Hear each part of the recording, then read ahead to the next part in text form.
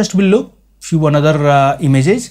This is just like each of be careful part or whole. These are just uh, you can say i already told to you this uh, be careful about the language.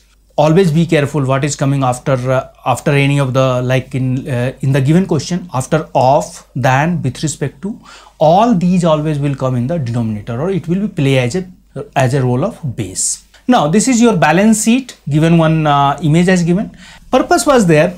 If you are running any business or if uh, you are because your target is to go for mba mba means to learn about the business. And once you will learn about the business how to administer the business. This is your like uh, career goals. For that you are preparing for that.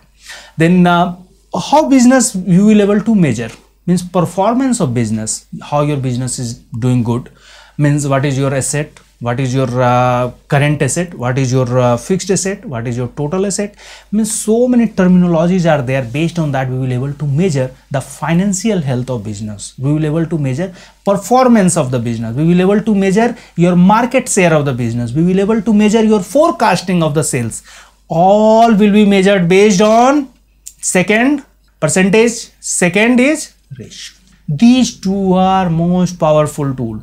Then all chartered accountant whatever they are studied or chartered you can say icwa these all commerce full commerce who are from commerce background you can realize full career is dedicated to understand these two tool in different different format.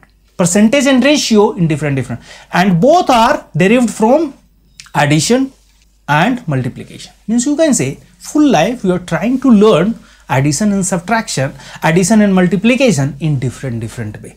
Terminology will be different.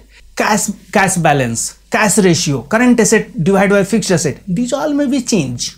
But finally uh, final output will be addition and multiplication. To understand these only they have to put lot of effort to understand which one to add which one to multiply which one to subtract which one to divide